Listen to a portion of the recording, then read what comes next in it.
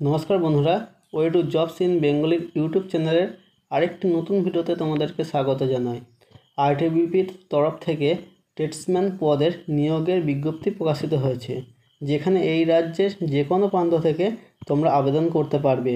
মাধ্যমিক পাস করলেই তোমরা এই পদগুলির জন্য আবেদন করতে পারবে। আবেদন করার শেষ তারিখ বাইশে ডিসেম্বর, তাই বন্ধুরা, ভিডিওটি অবশ্যই প্রথম থেকে শেষ পর্যন্ত দেখবে। কোন কোন পদে নিয়োগ করা হচ্ছে বয়স কত লাগছে? বেতন কত? এছাড়া শিক্ষাগত যোগ্যতা কী লাগবে? অ্যাপ্লিকেশন ফিস কত? এবং সিলেকশন প্রসেস কী রয়েছে? তোমাদেরকে জানিয়ে দেওয়া হবে এই ভিডিওর মাধ্যমে। যদি বন্ধুরা ভিডিওটি ভালো লাগে, অবশ্যই লাইক করবে এবং বন্ধুদের সাথে শেয়ার করবে। আমাদের সাথে জুড়ে থাকার জন্য এবং নিত্য নতুন আপডেট সবার আগে পাওয়ার জন্য অবশ্যই চ্যানেলটিকে সাবস্ক্রাইব করবে এবং পাশে থাকা বেল আইকনে ক্লিক করতে ভুলবে না।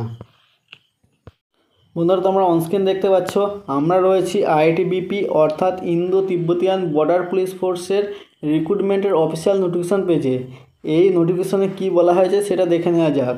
এখানে বলা হয়েছে কনস্টেবল বা স্টেটসম্যান পদে কিন্তু নিয়োগ করা হবে। সেই পদগুলি হলো টেইলর গার্ডেনার কবলার সাফাই কর্মচারী ওয়াশারম্যান এবং বারবার এই পদগুলোতে কিন্তু রিক্রুটমেন্ট করা হবে। ছেলে মেয়ে উভয়ই কিন্তু আবেদন করতে পারবে। তোমরা যদি মাধ্যমিক পাস করো, তাহলেই কিন্তু এই পদগুলোর জন্য আবেদনের যোগ্য। এখানে যে পদগুলোতে নিয়োগ করা হবে, সেটি গ্রুপ সির আন্ডারে কিন্তু নিয়োগ করা হবে। আরও এখানে বলা হয়েছে, তোমাদের মূল বেতন হবে একুশ হাজার সাতশো থেকে উনসত্তর হাজার একশোর মধ্যে। এবার যে পদগুলোতে নিয়োগ করা হবে, সেই পদগুলোতে কতগুলো ভ্যাকান্সি আছে, আমরা সেটা দেখে নেব। তোমরা এখানে দেখতে পাচ্ছ যে কনস্টেবল টেইলর পদের টোটাল ভ্যাকান্সি রয়েছে আঠেরোটি, যার মধ্যে মেল রয়েছে ষোলোটি এবং ফিমেল রয়েছে দুটি। প্রত্যেকটি কিন্তু ক্যাটাগরি ওয়াইজ ভাগ করা আছে, তোমরা এখানে এটা দেখে নেবে, আমি বিস্তারিত বলছি না, কারণ ভিডিওটি অনেকটি লম্বা হয়ে যাবে সেই জন্য। এবার কনস্টেবল গার্ডেনার পদে টোটাল ভ্যাকান্সি রয়েছে ষোলোটি, যার মধ্যে মেল রয়েছে চোদ্দোটি, ফিমেল রয়েছে দুটি। হচ্ছে কনস্টেবল কবলার পদে রয়েছে টোটাল ভ্যাকান্সি একত্রিশটি যার মধ্যে মেল রয়েছে ছাব্বিশটি এবং ফিমেল রয়েছে পাঁচটি। কনস্টেবল সাফাই কর্মচারীর মধ্যে টোটাল ভ্যাকান্সি রয়েছে আঠারোটি, মেল রয়েছে সাতষট্টিটি এবং ফিমেল রয়েছে এগারোটি। কনস্টেবল ওয়াশারম্যানে টোটাল ভ্যাকান্সি রয়েছে উননব্বইটি, মেল রয়েছে ছিয়াত্তরটি এবং ফিমেল রয়েছে তেরোটি। এছাড়া কনস্টেবল বারবার পদে টোটাল ভ্যাকান্সি রয়েছে পঞ্চান্নটি তার মধ্যে মেল রয়েছে সাতচল্লিশটি এবং ফিমেল রয়েছে আটটি। এই পদগুলোতে কিন্তু তোমরা প্রত্যেকেই আবেদন করতে পারবে।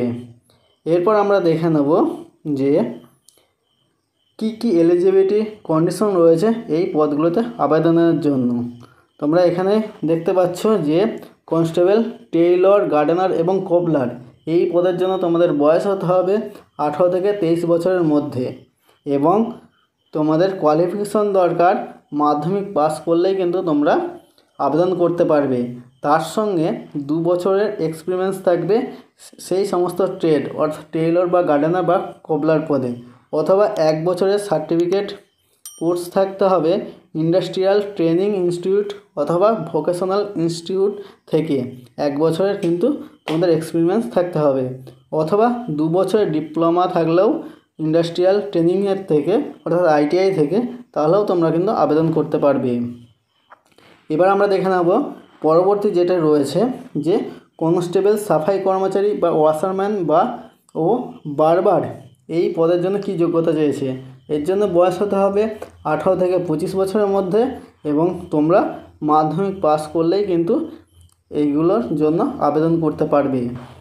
এই পদগুলিতে আবেদনের জন্য তোমাদের অনলাইন অ্যাপ্লিকেশন করতে হবে। অনলাইন অ্যাপ্লিকেশনের জন্য তোমরা আইটিবিপির যে রিক্রুটমেন্টের অফিসিয়াল পেজ রয়েছে, অর্থাৎ W dot recruitment dot police dot NIC dot এই ওয়েবসাইট থেকে তোমরা এই পোস্টগুলির জন্য অনলাইন আবেদন করতে পারবে। এবার আমরা দেখে নেব এই আবেদনের জন্য তোমাদের কত টাকা ফিস পেমেন্ট করতে হবে। এখানে এই আবেদন অর্থাৎ অনলাইন অ্যাপ্লিকেশনের জন্য তোমাদেরকে একশো টাকা ফিস পেমেন্ট করতে হবে। এসসি এসটি ফিমেলস অথবা এক্স সার্ভিসম্যান এদের জন্য কোনো রকম ফিস পেমেন্ট করা দরকার নেই।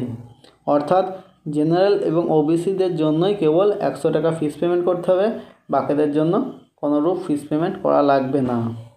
এবার আমরা যেটা দেখে নেব, সেটা হলো যে সিলেকশন প্রসেস অর্থাৎ এই রিক্রুটমেন্টের জন্য সিলেকশন প্রসেস কী রয়েছে। তোমরা এখানে দেখতে পাচ্ছ যে সিলেকশন প্রসেসের কথা কিন্তু বলে দেওয়া হয়েছে।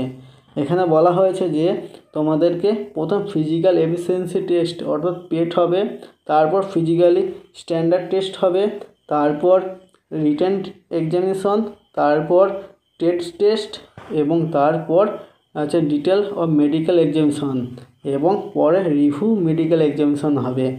এরপর কিন্তু তোমাদের মেরিট লিস্ট বার হবে এবং তার মধ্য দিয়ে পুরো রিক্রুটমেন্টের যে প্রসেসটা সেটা কিন্তু কমপ্লিট হবে।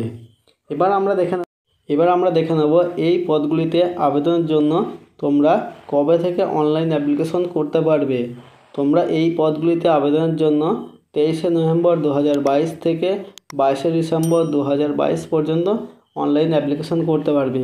অর্থাৎ নভেম্বরের তেইশ তারিখ থেকে ডিসেম্বরের বাইশ তারিখ পর্যন্ত তোমরা কিন্তু এই পদগুলির জন্য আবেদন কর